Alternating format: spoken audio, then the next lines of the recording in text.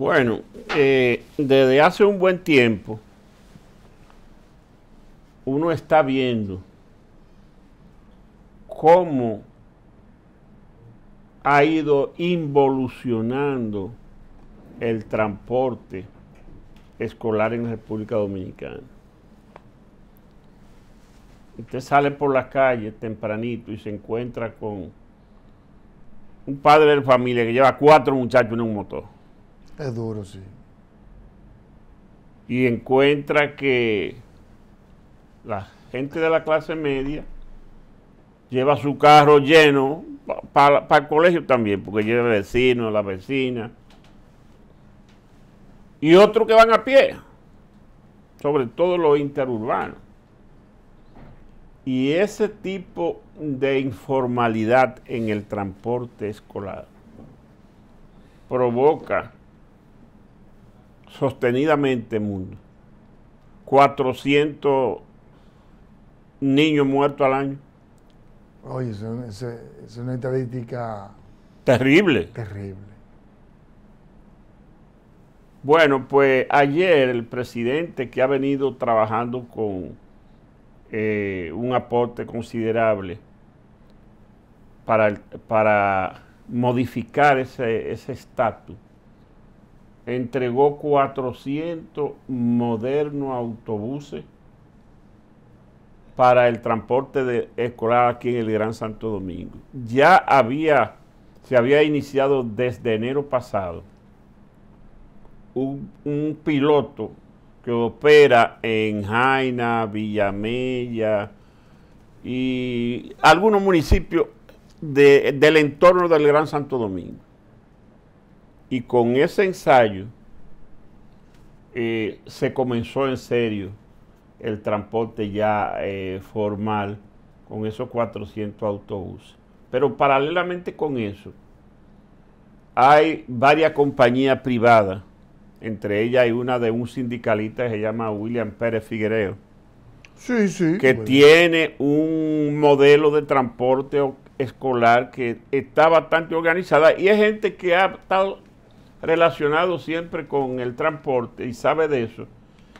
Y qué bueno, qué bueno que se esté trabajando eso y que el presidente tenga Yo, si no me equivoco, la idea y el proyecto del transporte escolar es de él, de William Pérez Figuereo.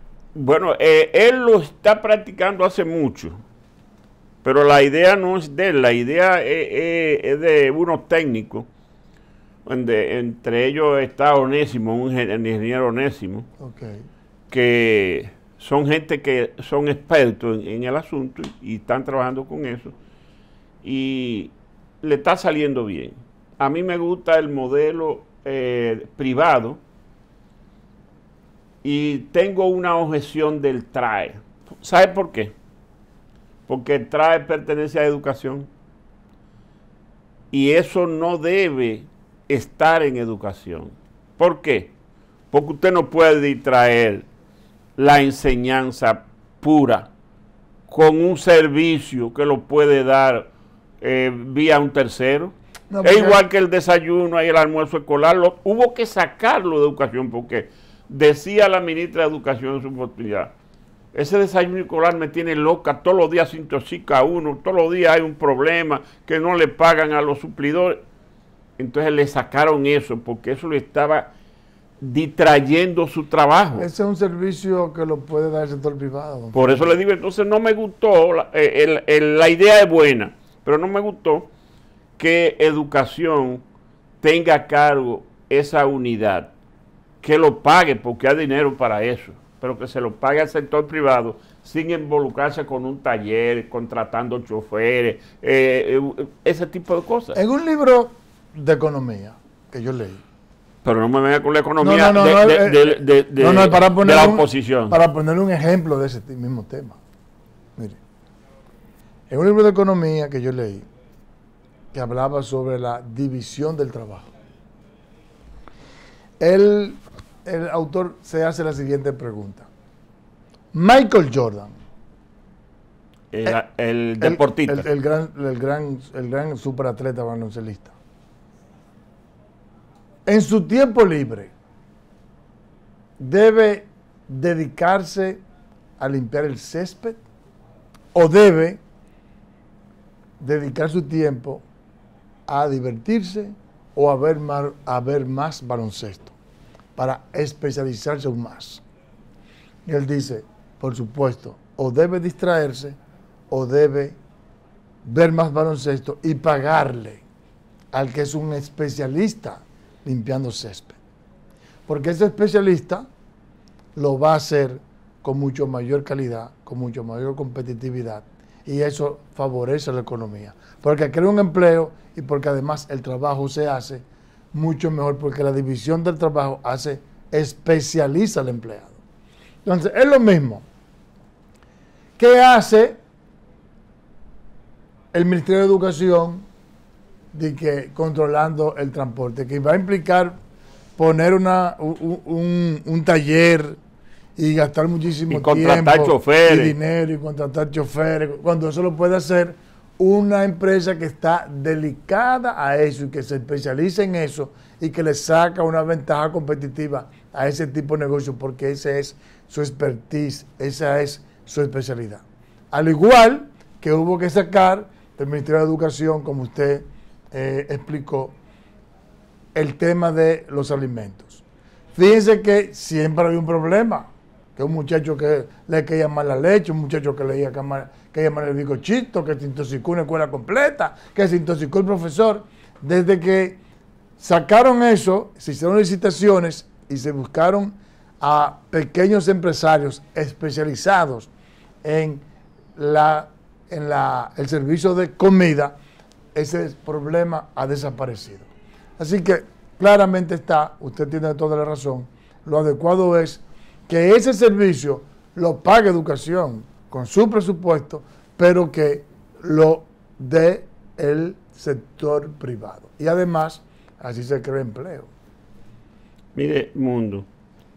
Y educación, por supuesto, se, se dedica a, a, trabajar en la educación. Claro, y, a tener el, el, presupuesto listo para que no haya reclamo de que está atrasado con el pago y ese tipo de cosas. Pero, claro. Pero gerenciar un, esa parte, yo no, me gusta, no me gusta, de verdad que no me gusta. No, yo estamos de acuerdo ahí, estamos de acuerdo. Mire, eh, Mundo, usted que está muy concentrado en el discurso político opositor, yo quisiera ver cuál es el libro que está recomendando hoy el profesor Leonel Fernández, que cada martes hace una recomendación.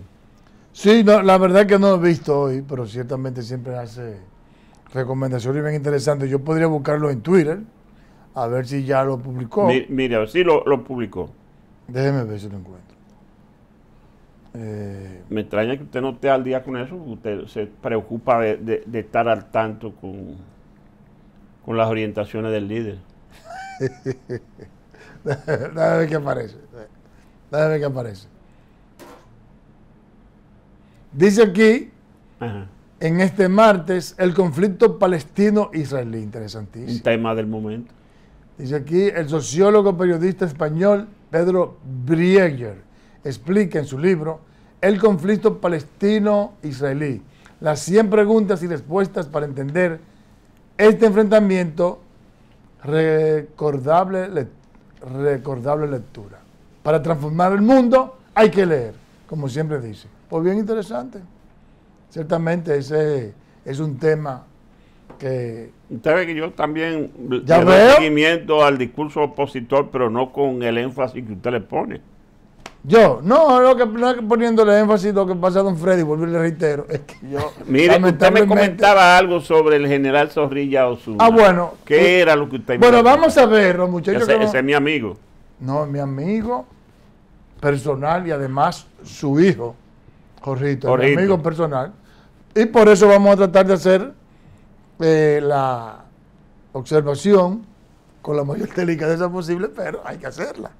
Porque la verdad que se cometió un error. es mi amigo, pero puso un huevo. Vamos a ver la declaración que dio el presidente eh, eh, Zorrillo Zuna cuando juramentó al presidente Luis Abinader como candidato a presidente por su partido, el Partido Renovador.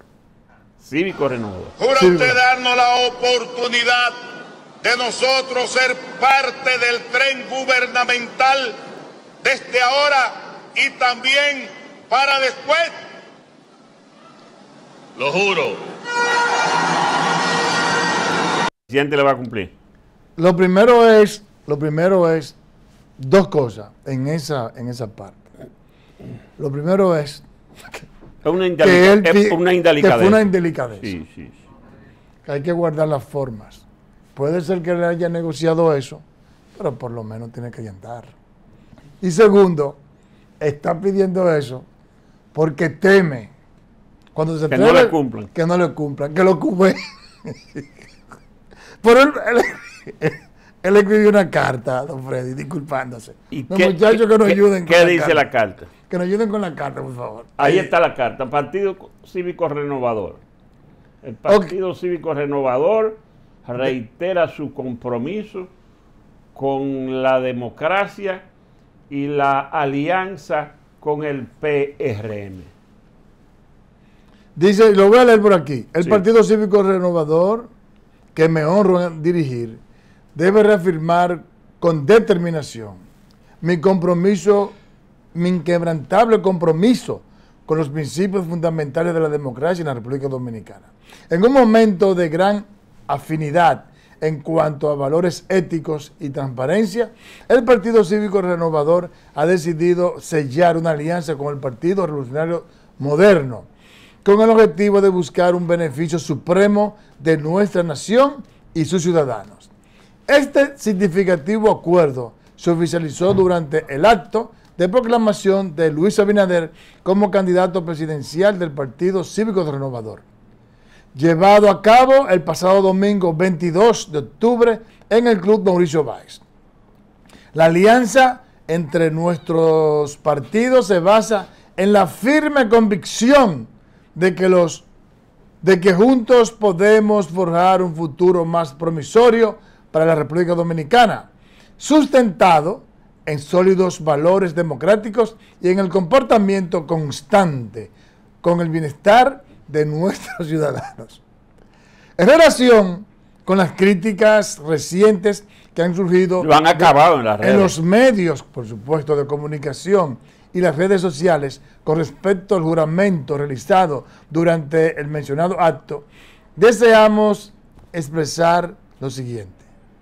Quien suscribe se disculpa de manera sincera por cualquier posible confusión que las frases del juramento pudieron haber causado sin ser preven- prevenido al presidente Luis Abinader que ciertamente lució Sorprendido. impa- sorprendido, impactado. Y dice, enfatizamos que estas palabras fueron pronunciadas en medio de la efervescencia y el entusiasmo característico de un acto de tal envergadura, sin ninguna intención sino de la de contribuir con el futuro de nuestro país y bajo los lineamientos de responsabilidad con la que ejerce su mandato nuestro candidato presidencial. Lo solté ahí. Mire, lo primero es que no hay ninguna confusión. Eh, Ahí no, él se equivocó, por lo menos está pidiendo disculpas y eso es sano. Se le chipoteó, don Freddy. Sí, pero no, no usted no puede ir, Fue muy ir sincero. a improvisar con un presidente. Don Freddy fue muy sincero. lo, lo, lo, No, eh, en las redes. o, el, lo han- o el en las subconsciente. redes lo han acabado, le han dicho oportunista, trepador, pero de todo lo que se le puede decir a un político. Lamentablemente, él dio espacio para eso con esas declaraciones. Yo espero que no vuelva a cometer ese error. De todas maneras, Zorrilla es mi amigo, es un hombre bueno. Y nada, lo importante es que él se arrepiente de eso y está pidiendo disculpas. Sí. Sí.